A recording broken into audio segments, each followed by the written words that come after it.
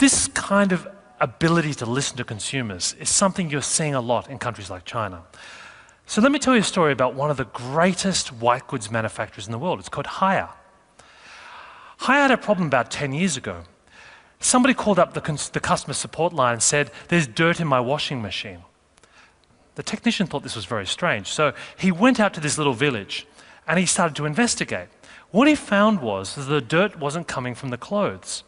People in the village were washing their potatoes in the washing machine.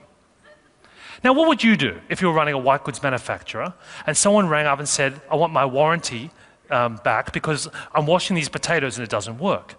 You tell them you're crazy, right? You know, and, and find another machine. Well, Haier did something completely opposite. They reinvented the machine to be more effective at washing potatoes. Think about that.